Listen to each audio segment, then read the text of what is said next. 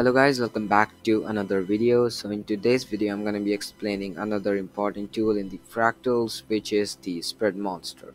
I'm going to be explaining this tool in a very low speed because I know that a lot of new guys are watching this and they want to grasp the knowledge very slowly so as to clear their basics. If somebody wants to watch in a much higher speed, they can just increase the speed to 1.5x or 2x according to their own convenience. Starting out, in the spread monster we have three graphs, the volatility, the density and the odds. First of all, we're going to be talking about the odds graph, okay? But before that, I want to explain to you the toolbox right here.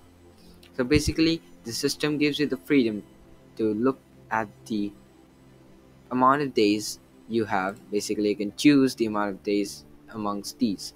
You can look forward 10 days using this tool, okay? In the density graph. I'm not going to be explaining this right now. Okay, from Tuesday to Monday, that is 10 days. So the market, basically, you can just predict the market using this tool forward looking 10 days. Okay, as simple as that.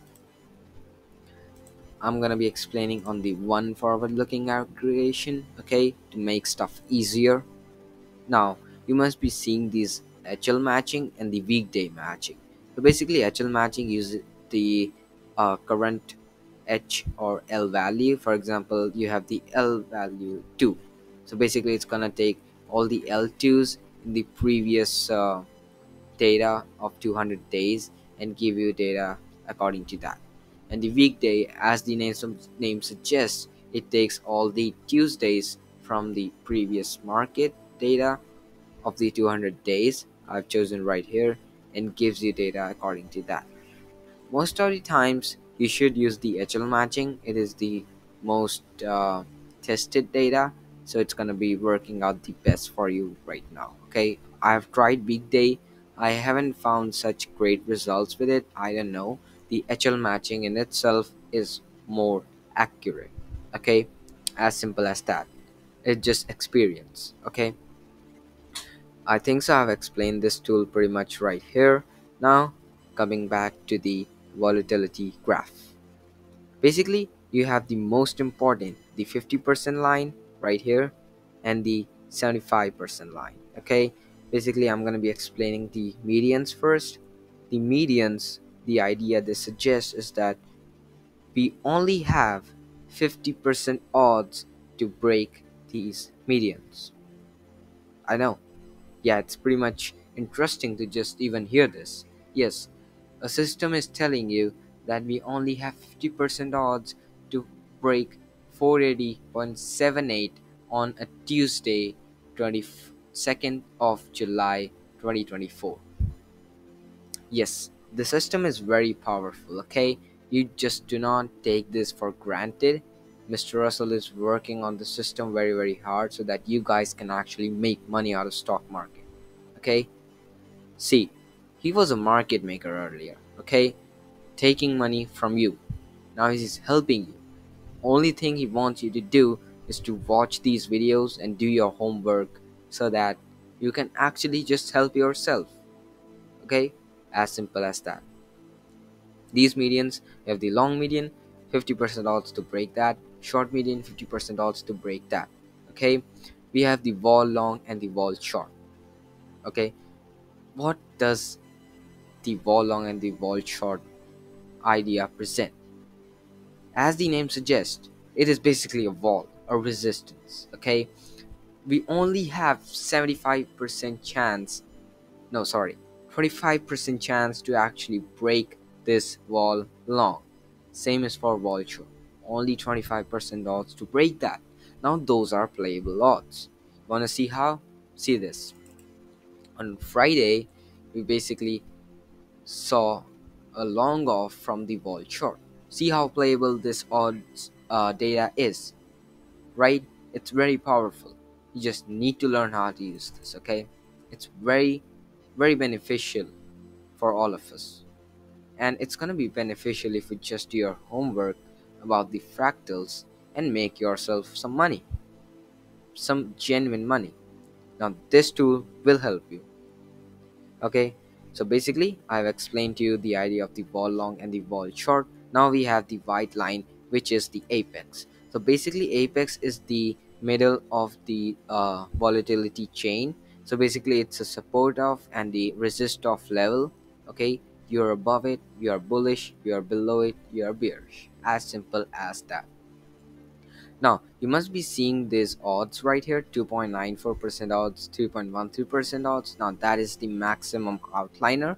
So the system is screaming at you that we only have 3.13% odds to actually reach 473.11 same as for right here 493.12 we only have 2.94% odds right? So that is complete outliner right?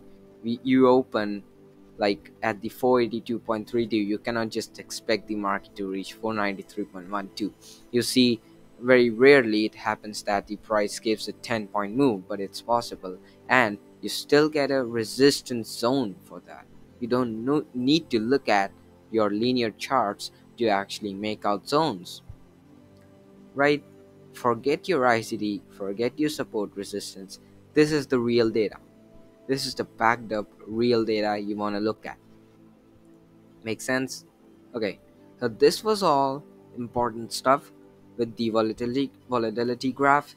As you mess more with it you will make out more sense okay? It's not very difficult. It's just that if you watch this video this part of the video again and again it will make sense. Or if you just ask someone in the rcg to give you some charts about the volatility graph everyone will be happy to help you if you're willing to help yourself. As simple as that. Okay so moving on we have the next feature which is the volatility sorry the density graph. Okay now we are gonna be talking about the density graph. As the name suggests it tells you where price will live the most with the use of density of color. As simple as that. Yeah it's that simple. See here the black region right here it's the most dense so it's telling you that price will stay in this region most of the time. It's unlikely to break that zone. The system is telling you that. See the power of it. It makes sense right? As you go above into the more outliner zone the color lightens. So it basically means that we have less probability of going up from here and we have less probability from going down from here. Basically the dense zone i'm gonna repeat the dense zone is the zone where price lives the most. As simple as that. Of course we can see outliner okay? So to control these outliners not control basically know the resistance and the support in the outliner zones we are given the sinusoidal waves. These sinusoidal waves right here. Or spaghetti. Okay? Yeah mr russell named them uh, named them spaghetti too for someone who doesn't want to call them sinusoid, uh, sinusoidal waves because the name is in itself very complicated. So you can call it spaghetti. I'm gonna also gonna call it spaghetti okay? Basically these spaghetti are telling you the resistances as well as support okay? You start out these all these waves or spaghetti start out from the previous day close from the monday close okay? And they form resistance on their curvature. So basically you see all these curvature right here these are resistances. See all these curvatures right here these are supports. One important thing i want to tell you guys about is the last line of defense okay the last line of defense setup are the best setups you guys will see with this sinusoidal or spaghetti graph okay? But before that i want you guys to do is that just request one graph or just go back if you have fractals and look at these sinusoidal resistances and plot them out on your trading view chart to actually see how the data plays out okay just for an hypothetical situation. Let's say that you see an outliner and you want to look for uh, for resistance right? You're in this region and you want to look for resistance. Well the system gives you that. The system is giving a resistance in the form of the spaghetti. You mark this zone right here on your trading view chart. That is the resistance backed up by data. No other resistance in the world is gonna be better than that okay? It's made from data. It's not your random things okay? The linear chart is just random. This is data. This is all data. And as, and as you guys must be aware mr milk says it again and again data is king right? Just believe just believe it. You use this thing for one to two days and you will yourself realize that. Okay i'm done with the motivational stuff. Moving on we have the last line of defense. To explain the last line of defense i'm going to be showing you this example right here we had for friday. See this? That is your last line of defense play. You saw that in this last line of defense area we only had one wave left to take out. Means take out means to form a high above that and the price did not do that because it was already nearing an outsized move right? We saw the last line of defense wave and we took resistance from it. As simple as that. We could have seen the same thing for below uh, below the previous day close. For example price would have been right here and you should have been uh, seen uh, support from here. Okay hypothetical situation. I showed you for above the previous day close so you can actually just go back some data and look for support of from an outliner sinusoidal or spaghetti wave. As simple as that. Okay now we're gonna be talking about the next feature in the spread monster which is the most important and a bit complicated okay? So all ears open now okay? I want to talk to you guys about the uh, sinusoidal waves or the density graph is that you can actually use this with more days to load and get good amount of data. For example i want to start looking at data from monday. Like i want to look at the whole week data. Okay i go forward five days. Forward looking aggregations five days and look at the data. You see the hl matching is currently not giving the best data so in this situation yes you can use the yeah perfect. Basically now you have more settled data with the weekday matching. The high-low matching data is a bit skewed but the weekday matching data is fine now okay? We don't know the reason behind that but the system figures it out itself but we have the weekday matching so it makes sense okay? You can use the weekly data to actually figure out your support and resistances. Here the density is shown in the form of red color and it fades out as you go into the more outliner area for either of the sides. As simple as that. Same thing you can see here these purple bars right here actually highs and lows and you must be seeing the support of from this sinusoidal wave right here. You could have marked that out on your chart. You could have made some money right it's that easy to actually use these charts for uh, Thursday we saw that we were actually just about to take perfect support from this last line of defense sinusoidal wave right? Makes sense? Same thing right here. We were in a dense area of uh, waves. So basically this was a hard cluster resistance and we took resistance from it. As simple as that of course we could have seen the same thing for above the uh, for above the friday close but we did not see that because we saw that the market was tuned bearish with the splice data. Yes we're going to be talking about the splice data in the future video. Just stay around and do your homework okay? Don't worry we're going to be talking about all the stuff in the fractals and we're going to be making it clear for you all okay? Now we're going to move to the odds graph okay so talking about the odds graph i'm to be explaining this graph right here. But before that i want you guys to actually watch this video right here. Okay this video.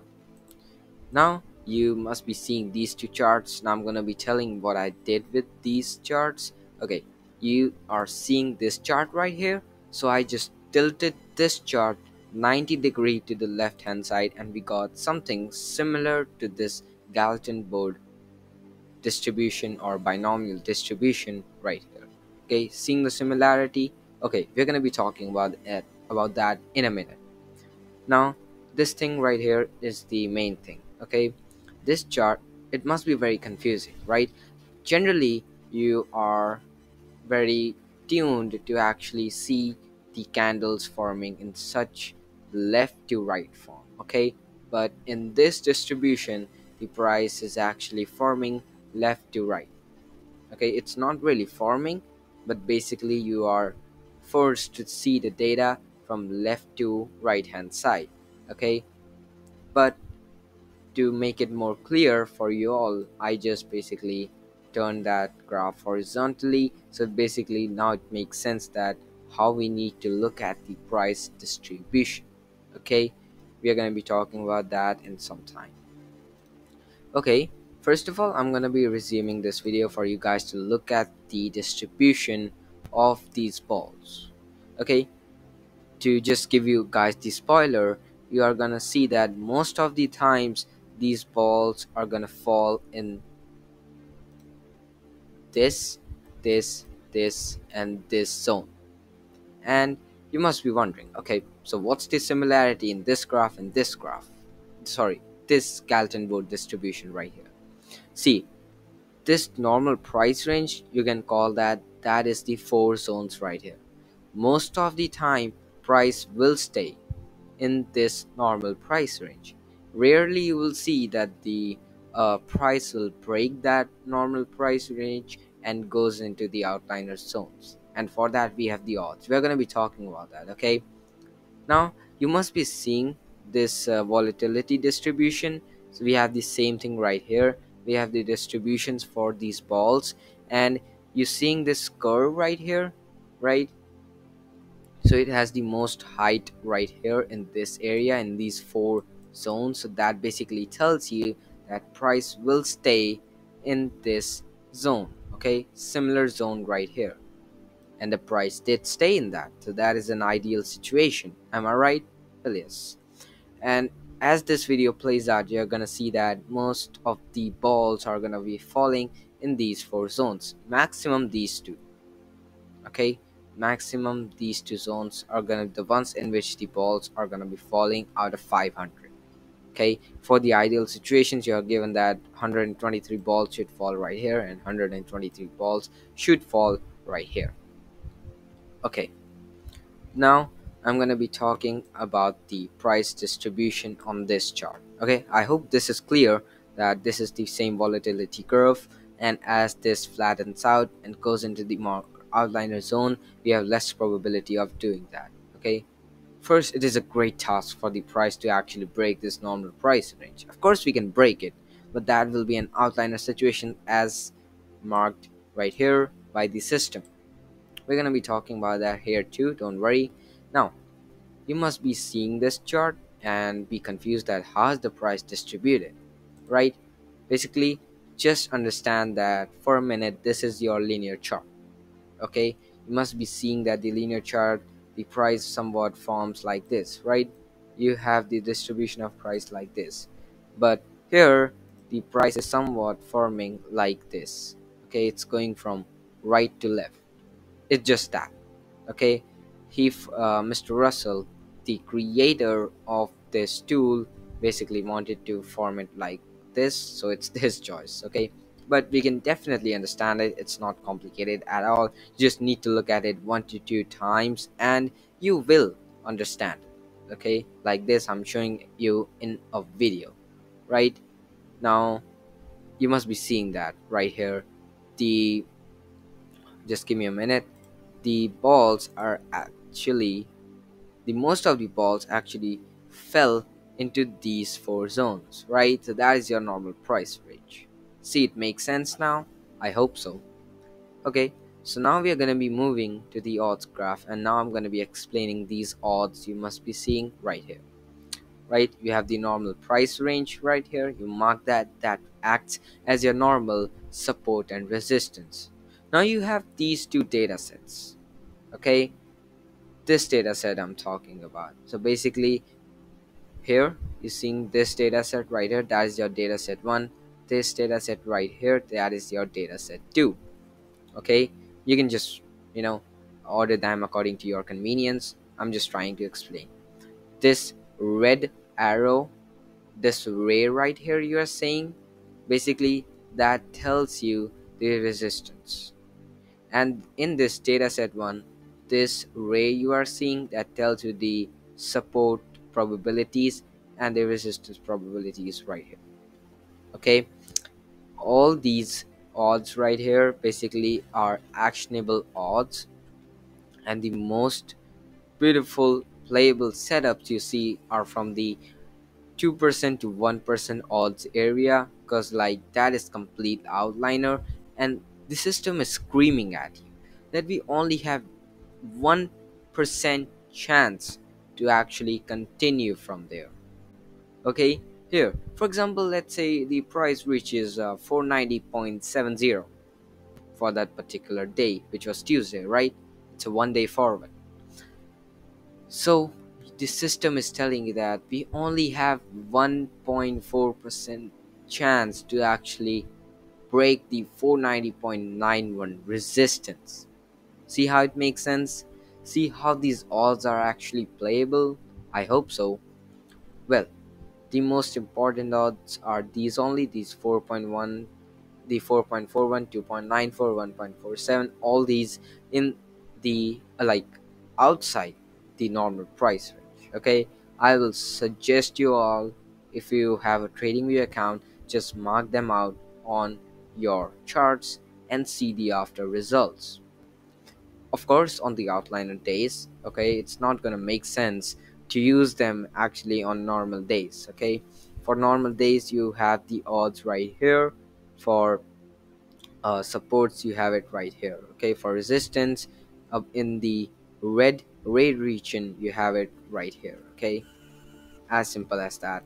Nothing complicated about this whole tube okay? You guys can look at two to three more charts if you want to look at to actually get more clear understanding. Okay down this is the recent chart we had. This was for friday uh 25th for uh, 25th of july 2024 okay?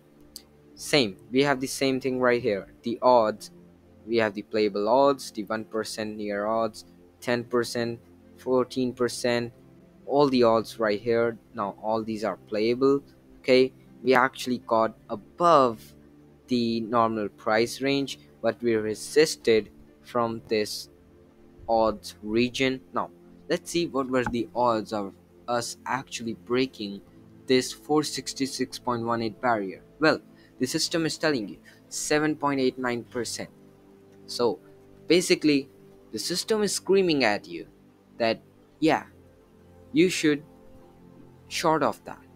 Basically, you have what 93 points, uh, 92 points, something, something chance of actually seeing resistance from there and not a continue not a continuation.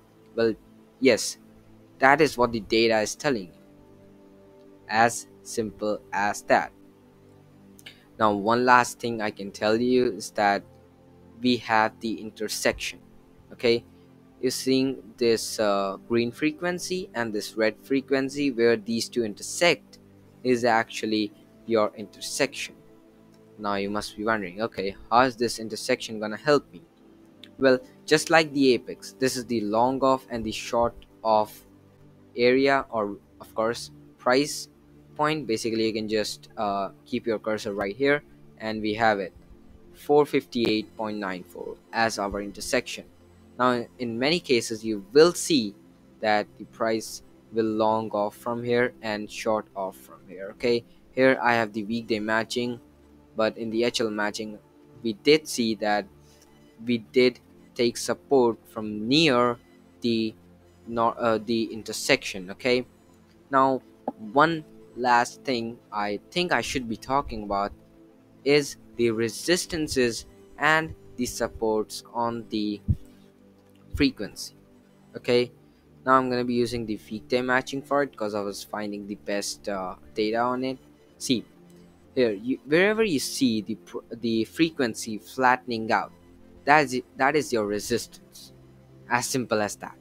And you will see that on that resistance most of the times we have the odds okay? We have the odds of breaking that resistance. For example we had resistance right here what is the odds of us breaking that resistance?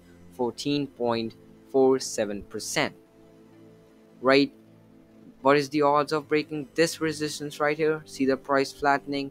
Well only 11.84% to 9.21 percent. So basically you can just make out we have 90% probability of resisting from there. Okay? Now what was the uh, odds of us seeing continuation from there well only 7.89% we talked about that right? Well same is for the red frequency or the support frequency right? We have the support right here. Well what is the chance of actually reaching that support? Well less than 20, 22.37% right? Makes sense? For example we have the outliner support right here. Now what is the odds of the market breaking that support 3.95% as simple as that you look at this chart for some more time on your own system or you request someone about this chart in the RCG group, well, you're gonna get the charts you want and you might get some kind of advice from our uh, members too. Okay, we have a very helpful community. We want people to grow and be good traders using the data, of course. Okay, now I think this is okay so one last tool i want to tell you guys about is the statistics. Basically it tells you the statistics of price getting above or below particular price points. For example it also tells you that what is the probability of forming 1 edge or 4l for that particular day. For example for 26th of july we had 75% probability of forming 1 edge which means that it gives you the probability of price getting above the pivot right? This thing right here for friday. And we did get above the pivot okay? We did see the after result of it. Make sense right? From 3l right here we the price moved to 1 edge because we had almost 75% odds of that happening. As simple as that. Okay? Simply we also have the normal uh, theoretical price points too of us getting above or below right? For example we have only 21.43% chance of price getting below 457.49 okay? So we get all these statistics right here which you can use too okay? Along with the odds graph data because like these two are pretty much correlating okay? So the, these both can be extremely beneficial to you all. So i hope that this video explained a lot of stuff about the spread monster. If you still have some doubts you can actually ask in the professional trade launch or the general chat in the off market hours okay? So I hope you guys have a really good day. Stay safe and keep learning.